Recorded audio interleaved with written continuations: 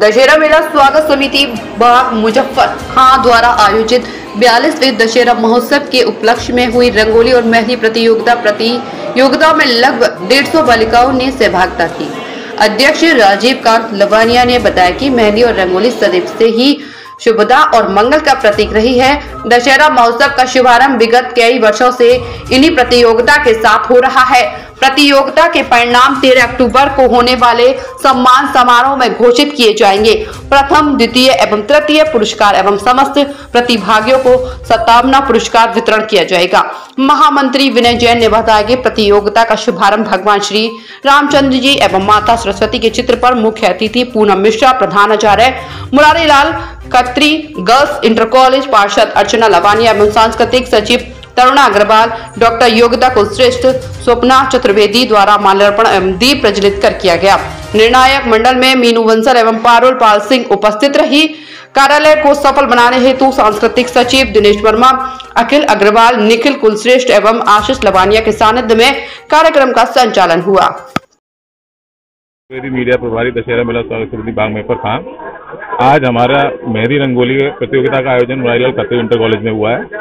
यहाँ करीब डेढ़ सौ से ज़्यादा बच्चों ने भाग लिया। और प्रति वर्ष की भांति हर वर्ष हमारे यहाँ यहाँ बच्चे मेहंदी रंगोली प्रतियोगिता में बढ़ रहे हैं। कार्यक्रम की रूपरेखा इनका जो है, रिज़ल्ट जो है वो हम लोग तेरह तारीख को घोषित करेंगे। केवल फ़र्स्ट, सेकंड प्राइज के अलावा हमने सांत्वना पुरस्कार भी हर बच्चे के लिए रखा है। धन्यवाद। बयालीसवां दशहरा महोत्सव है। बयालीसवें में हमने प्रवेश कर लिया है। आज हमारा पहला कार्यक्रम है मेहंदी एवं रंगोली का, जैसा कि आप देख रहे हैं। कितने बच्चों ने पार्टिसिपेट किया है इसमें कितना उत्साह है लोगों में। हर वर्ष हम ये मनाते हैं और तेरह तारीख को इन्हीं सभी बच्चों को फ़र्स्ट सेकंड थर्ड प्राइज के अलावा कॉन्सोलेशन प्राइज सभी बच्चों को दिया जाएगा। इस बार हमने इस कंपटीशन में दो ग्रुप बनाए हैं। एक ग्रुप बनाया है एक साल एक साल तो छोड़िए छः सात साल की उम्र से लेकर के और बीस साल की उम्र तक का और दूसरा ग्रुप बनाया इक्कीस से आगे वालों का। कितने बच्चों ने लगभग लगभग डेढ़ सौ बच्चों ने डेढ़ सौ प्लस बच्चों ने इसमें पार्टिसिपेट किया है जिसमें अस्सी पिचासी बच्चे मेहंदी में हैं और बच्चे रंगोली में हैं। क्या कुछ नया मिलेगा इस बार दशहरा महोत्सव में? इस बार आप देखिए आकर के आप लोग तो आके हैं आपके माध्यम से सभी लोगों को बताना चाहूँगा कि इस बार रावण दहन मेरे ख्याल से शायद सबसे अच्छा होगा आगरे का। हाइट भी पहले की अपेक्षा हमने बढ़ाई है। और तेरह तारीख को श्री खाटू श्याम भजन संध्या का आयोजन इसी ग्राउंड से किया जा रहा है। ठीक है तो आयोजन आज उराज के बारे में जानते हैं। मैं अर्चना लवानिया वार्ड सत्ताईस से पार्षद हूँ। ये हम दशहरा का महोत्सव करते हैं करीब बयालीस वर्ष हो गए हमें। इसी संदर्भ में हम एक मेहंदी रंगोली का कार्यक्रम भी करते हैं। आपको मानेंगे मेहंदी और रंगोली जो है, भारतीय इतिहास में बहुत महत्व रखती है।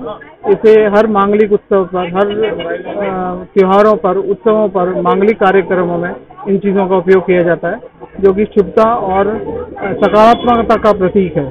इसी संदर्भ में हमने अपनी बच्चियों को अपनी परंपराओं से अवगत कराने हेतु एक कार्यक्रम प्रस्तुत करते हैं करवाते हैं जिसमें प्राइज डिस्ट्रीब्यूशन भी होता है फ़र्स्ट सेकंड थर्ड प्राइज मिलते हैं और सभी बच्चों को कुछ ना कुछ मिलता है। कितने लोगों ने भाग लिया? तकरीबन डेढ़ सौ लोगों ने पच्चीस बच्चों ने पिछहत्तर बच्चों ने मेहंदी में और पिछहत्तर रंगोली में। करीब डेढ़ सौ बच्चों ने पार्टिसिपेट किया है।